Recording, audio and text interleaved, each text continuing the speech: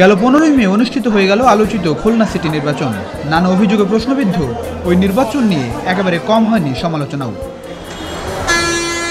প্রথম তফসিল অনুযায়ী পনেরোই মে খুলনার সঙ্গে নির্বাচন হওয়ার কথা ছিল গাজীপুরের, কিন্তু আইনি জটিলতায় পিছিয়েছে এই সিটির নির্বাচন।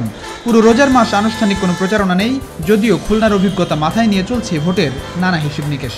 সুষ্ঠু আমরা সঠিকভাবে যাতে ভোটটা দিতে পারি। খুলনা নির্বাচনে তো অনেক জায়গায় ভালো হয়েছে আবার অনেক জায়গায় কাটছবি হয়েছে। সুষ্ঠুপূর্ণ নির্বাচন চাই এবং শান্তিপূর্ণ নির্বাচন চাই। কোনো ভেজাল যে না হয়। খুলনার নির্বাচন নিয়ে বিপরীতমুখী অবস্থান থাকলেও গাজীপুরের নির্বাচন নিয়ে বেশ আশাবাদী প্রধান দুই মেয়র প্রার্থী।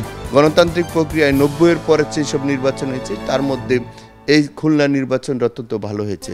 গণমাধ্যমের দৃষ্টিতে বিভিন্ন বিশ্লেষকদের বিশ্লেষণে নির্বাচনে যেইভাবে হওয়ার কথা ছিল সেইভাবে হয় নাই। আমাদের গাজীপুরের মানুষ শান্তিপ্রিয় মানুষ এখানে আমাদের ভোট আমরা যতদিন ধরে ভোটার হয়েছি এর আগ থেকে আজকে প্রায় বিশ তিরিশ বছর ধরে এখানে দেখি না কোনো ভোটের মধ্যে অনিয়ম। সেই হিসাবে আমি বিশ্বাস করি আমাদের গাজীপুর নির্বাচন হবে একেবারেই গণতান্ত্রিক প্রক্রিয়ায়। না হলে তার খেসারত সরকারকে দিতে হবে। এটা খুলনা না এটা গাজীপুর।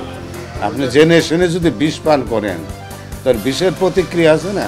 আর খুলনা নির্বাচনের পর্যবেক্ষণ তুলে ধরে এ বিশ্লেষক অবশ্য অন্যভাবে দেখছেন গাজীপুরের নির্বাচনকে। খুলনায় গণমাধ্যমে যেসব রিপোর্ট এসছে ওখানে ব্যাপক কারচুপি হয়েছে এবং এটা একটা ভিন্ন ধরনের কারচুপি, এটা নীরব কারচুপি। গাজীপুরে কী হবে তা নির্ভর করবে নির্বাচন কমিশনের উপর। নির্বাচন কমিশন যদি কার্যকর ব্যবস্থা নেয়, তাহলে এখানে নির্বাচন সুষ্ঠু হতে পারে। তবে সেই লক্ষণ এখন পর্যন্ত দেখা যাচ্ছে না।